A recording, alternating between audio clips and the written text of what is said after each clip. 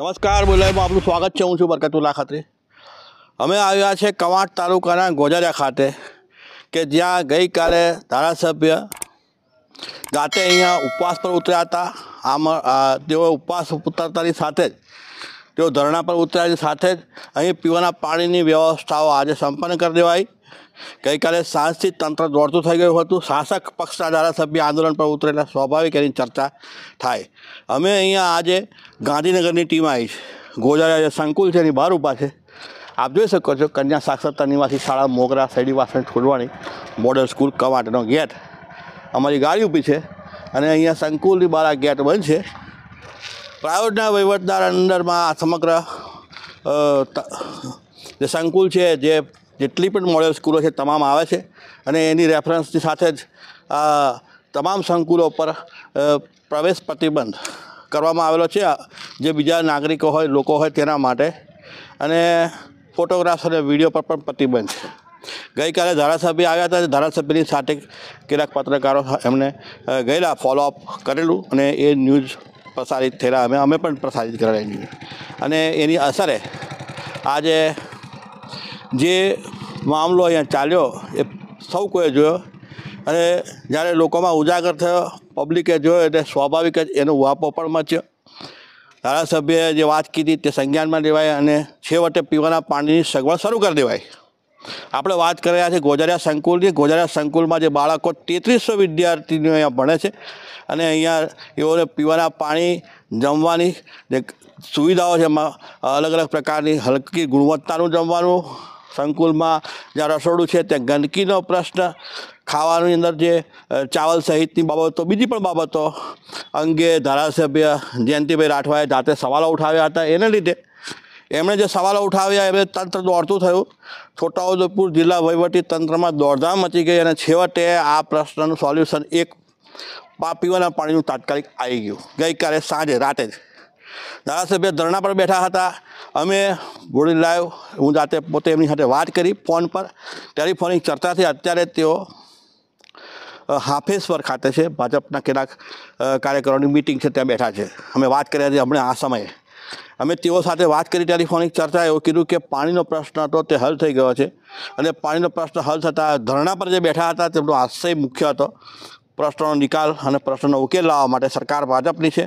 તેઓએ મુખ્યમંત્રી અને વડાપ્રધાનના પણ વખાણ કર્યા હતા અને તેઓ પોઝિટિવ છે, પરંતુ જે રીતે અહીંયા સવાલ ઉઠી રહ્યા છે આ સંકુલમાં પીવાના પાણીથી ભોજન સુધીના જે, એ બાબતોને લઈ તેત્રીસો વિદ્યાર્થીઓનો પ્રશ્ન ગોજારિયા સંકુલ આપણે ત્યાં ગેર પણ તમે જુઓ અને સાથે આ બોર્ડ છે. અમને અહીંયા જવા દેવામાં આવ્યા નથી આજે. જે રીતે નસવાડીમાં પ્રવેશબંધી ફરમાવાઈ હતી એ સમસ્યા. ગોજારિયા શૈક્ષણિક સંકુલ, તમે બોર્ડ દેખો પહેલાં. આપણે કોઈ વાદ વિવાદ કરવાનો નથી. પણ તમે ગોજારિયા શૈક્ષણિક સંકુલ અગત્યની સૂચના બિન અધિકૃત વ્યક્તિઓએ લેખિત પૂર્વ મંજૂરી સિવાય કેમ્પસમાં પ્રવેશ કરવો નહીં. આ કેમ્પસમાં કન્યા નિવાસી હોસ્ટેલ હોવાથી પૂર્વ મંજૂરીથી આવતા મુલાકાતીઓએ નિર્ધારિત પ્રતીક્ષા કક્ષ સિવાય કેમ્પસમાં અન્ય જગ્યાએ પ્રવેશ કરવો નહીં કે બેસવું નહીં. તઈ રાખો કન્યા નિવાસી શાળા હોવાથી અનઅધિકૃત રીતે ફોટોગ્રાફી કે વિડીયોગ્રાફી કરવી નહીં. ઉપરોક્ત સૂચનાઓનું પાલન કરવા તાકીદ કરવામાં આવે છે અને ઉપરોક્ત માર્ગદર્શિકાનો ભંગ કરનાર વ્યક્તિ કે વ્યક્તિઓ વિરુદ્ધ કાયદેસરના પગલાં લેવામાં આવશે.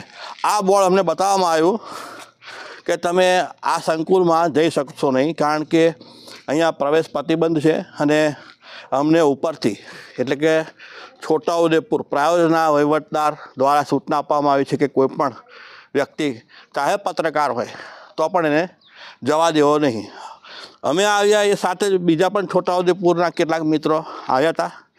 તેઓને પણ એ જ બોર્ડ બતાવવામાં આવ્યું. એમણે પણ ટેલિફોનિક વાત કરી પણ એ લોકો જતા રહ્યા. એ લોકોને પણ જતા રહેવું પડ્યું. અમે પણ જતા રહીશું.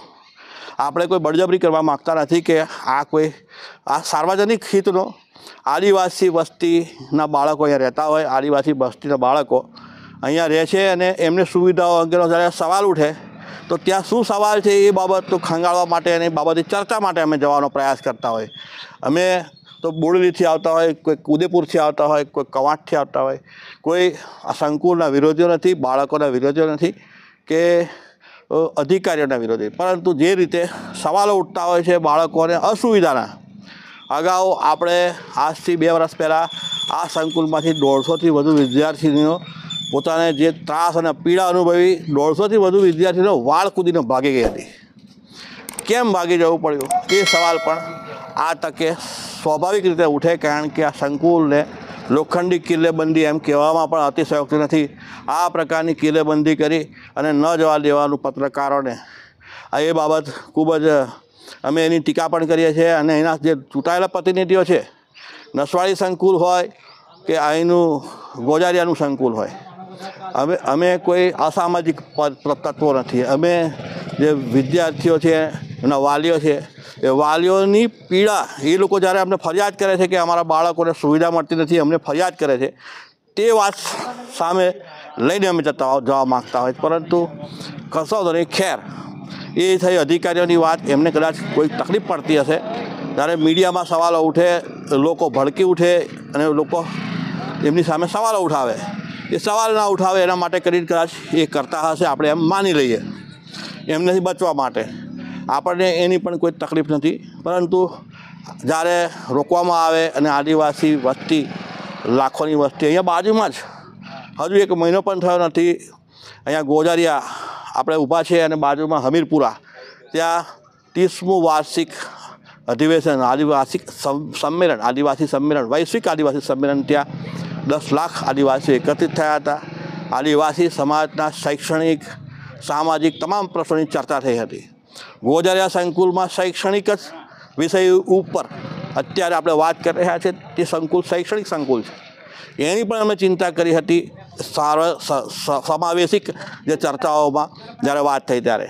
ત્યારે એ ચર્ચા અને એની ચિંતા ત્યાં અમે અમે ગયા હતા. ત્યાં પણ અમે બધાની સાથે પરામર્શ થયો હતો અને શૈક્ષણિક ચિંતા બાબતમાં ફરી એક વખત જ્યારે અમને પ્રવેશ પ્રતિબંધ સવાલ ઉઠી રહ્યા છે કે જો લોકોના પ્રશ્નો છે એની રજૂઆત કરવા માટે અને એક માધ્યમ જો રજૂઆત ન કરી શકે તો કોણ કરશે?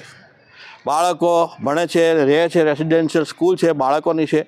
અમારી સાથે કોઈ વ્યક્તિ કે એમના જે અધિકારી, કર્મચારીઓ હોય સાથે રાખી અને એમણે મુલાકાત કરવાનો અવસર આપવો જોઈએ. જેથી એ લોકો પારદર્શિક રીતે વહીવટ પણ છે એવું ખ્યાલ આવી શકે. મીડિયા એ પારદર્શક આયનો છે. પારદર્શક વહીવટ દર્શાવવા માટે, એમના માટે પણ આયનો છે. અને એમાંથી એ અમે પણ જોઈ શકીએ છીએ કે બરાબર છે. અમે પણ લોકોને કહીશું. સુવિધાઓ સારી હશે. અમે જ્યારે ગઈકાલે અમને અવસર મળ્યો, ધારાસભ્ય સાથે અંદર જવાનો, તો જે વિદ્યાર્થીને પોતાની વેદના વ્યક્ત કરી, જાડી રોટલી આપે છે, કાચી રોટલી આપે છે, અસુવિધાઓ છે, પાણી કઈ રીતે જવું પડે છે લેવા, તમામ બાબતો સામે ઉજાગર થઈ. હવે હવે નહીં જવા દેવાતા, તો શું ચોવીસ કલાકની અંદર જ આ પ્રકારના પ્રતિબંધ, એ કેમ? સવાલ કેમ ન ઉઠે?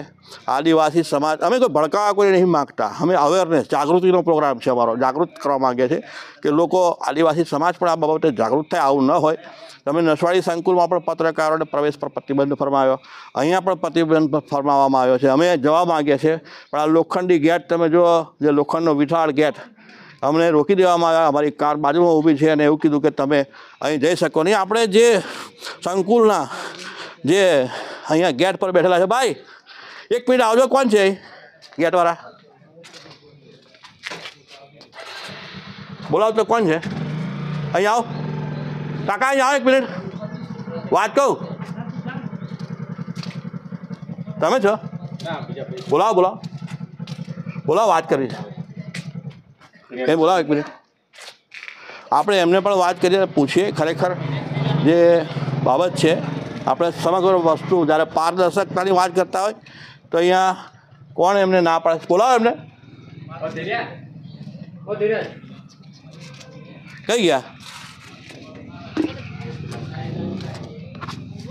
અહીંયા આવો ભાઈ. અહીંયા અહીંયા અંદર પ્રવેશ પ્રતિબંધ કર્યો છે. કોણ કોણ શું ફોન આવ્યા શું કહેવા માંગે સર અમારે કેમ્પસ ઇન્ચાર્જ સાહેબ શ્રી અમને અહીં કોઈ બી બિન કૃત વ્યક્તિ અંદર આવી ન શકે એના માટે આદેશ આપે પણ તમને ફોન આવ્યા તો અમે જ્યારે તમને કીધું કે અમે આવ્યા છે એમ કહો તો તમે વાત કરી એવી? સર ફોન ઉચકતા નહીં એટલે. અચ્છા. અને તમને ના પાડેલી છે? હા સર એ વાત કરી હતી પણ હવે ગઈકાલ તો આવ્યા હતા બધા? હા સર. તો આજે કમ બંધ પ્રતિબંધ? એ કીધું છે એટલે એટલે આજે તમને કીધું? હા સર હવે અલગથી સૂચના આવી પત્રકારો માટે પણ કીધું? સર હવે અમને બધાને કીધું એટલે સર બધા આવી ગયા બધા બિન અધિકૃત પણ અમે તો બિન અધિકૃત કહેવાય સર હવે એ અમને હે? શું નામ તારું? ધીરજ રાઠવા? સિક્યુરિટી શું કરો તમે? સિક્યુરિટી અચ્છા. સિક્યુરિટી છે ધીરજ રાઠવા. અને જો અહીંયા આપણે વાત કરી અહીંયા પ્રવેશ પર પ્રતિબંધ છે અને એમને સૂચના આપવામાં આવેલી છે આજે જ ફોન પર. એ પણ વાત જાણીએ આપણે. એમનો વાંક નથી, એ તો ચિઠ્ઠીના ચાકર છે અને એમને જે વાત સૂચના આપવામાં એનું પાલન કરવાનું થતું હોય. આ ગોજરા સંકુલની બહાર આ ઊભા રહીને તમામ બાબતને તમે અમારી તમારી સમક્ષ પ્રસ્તુત કરવાનો પ્રયાસ છે. અમે ગઈકાલે જે બન્યું ત્યાર પછી પીવાના પાણીના પ્રશ્ન સોલ્વ કરી દેવામાં આવે છે. હજુ પણ બીજા પ્રશ્નો છે. એ પ્રશ્નોના ઉકેલ માટે ગાંધીનગરથી ટીમ પણ આવી છે અધિકારીઓની. ગાંધીનગરની ટીમ શું કરે છે, શું નથી બાબત છે, એ બાબતને ઉજાગર કેવી રીતે થાય? જો એની સાથે મુલાકાત જ આ એ આપણે ત્યાં રાજાશાહી શાસન નથી, લોકશાહી છે. લોકશાહીને જીવંત બનાવવા માટે મીડિયા છે એ આપણે લોકશાહીનો ચોથો આધાર સ્તંભ કહેવાય. જો તમે આ પ્રકારની સંસ્થાઓની અંદર મીડિયાને જ અલાવ ના કરો.